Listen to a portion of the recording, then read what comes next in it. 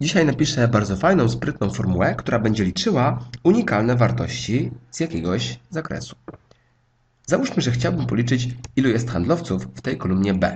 Skorzystam z funkcji licz jeżeli. Funkcja ta chce, abyśmy jej zaznaczyli zakres, który będzie przeglądała, więc wskazałem wszystkich handlowców. A jako drugi argument chcę, abyśmy podali jej kryterium.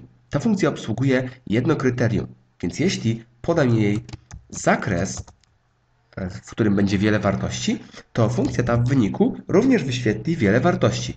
Zamknąłem nawias, nacisnę F9 i spójrz, pojawiła się tablica z jakimiś liczbami. Co one oznaczają? Ta jedynka tu to jest wynik dla pierwszej pozycji w tej tablicy, czyli dla Agaty. Oznacza to, że Agata występuje wśród tych handlowców raz.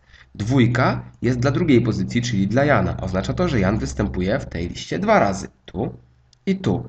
Kolejna dwójka jest dla trzeciej pozycji, czyli dla Agnieszki. Oznacza to, że ona też występuje w tej liście dwa razy.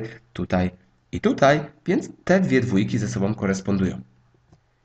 Ctrl Z aby to cofnąć i spójrz, co teraz każe Excelowi zrobić. Na początku zaraz za znakiem równości wpisałem jedynkę i powiem, aby Excel dzielił tę jedynkę przez wartości, które znajdowały się w tej tablicy. Teraz nacisnę F9, aby podejrzeć, co z tego wychodzi i zobacz. Jako, że Agata w liście znajdowała się tylko raz i była tutaj jedynka, więc jedynka dzielona przez jedynkę to jest 1. Jan znajdował się dwukrotnie. Tutaj i tutaj. Więc na tej pozycji i na tej były dwójki. Jeżeli teraz 1 dzielę przez 2, to wychodzi mi 1 druga, czyli 0,5, więc te dwie pozycje, one są dla Jana.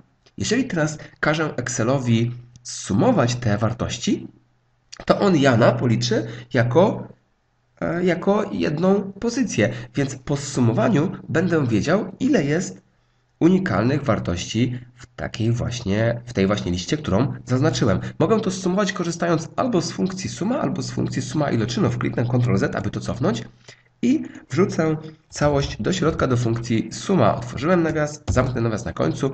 Funkcja suma, e, aby mogła obsłużyć operacje na tablicach, to muszę tę formułę zatwierdzić naciskając Ctrl Shift Enter. Zwróć uwagę, pojawiły się w formule nawiasy kwadratowe. One oznaczają że one mówią Excelowi, aby interpretował tę formułę jako formułę tablicową. Jeżeli chcesz tego uniknąć, to możesz zastosować funkcję suma ileczynów. Jako, że chcę zrobić sumowanie tej tablicy, która wychodzi z tej formuły w środku, mogę skorzystać z sumy ileczynów i ta funkcja, ona obsługuje operacje na tablicach, więc tej formuły nie będę musiał zatwierdzać naciskając Ctrl Shift Enter, a jedynie zwykły Enter. Spójrz, naciskam Enter i wynik jest taki sam. Jeżeli dopiszę jakiegoś innego handlowca, to spójrz, wynik oczywiście się uaktualnia. Ta formuła jest bardzo fajna, dosyć prosta i sprytna, ale nie jest dobra dla dużej ilości rekordów. Ja zmierzyłem czas wykonywania tej formuły dla różnej ilości rekordów i spójrz, jeżeli tych rekordów jest poniżej 1000, to gdzieś to jest 1 e, dziesiąta sekundy. Jeżeli jest około 5000 rekordów, to półtorej sekundy. Natomiast jeżeli tych rekordów by przybyło, na przykład byłoby ich około 25 tysięcy, wówczas ta formuła będzie się wykonywała aż 31 sekund. W kolejnej części pokażę Ci trudniejszą, ale za to o niebo szybszą formułę.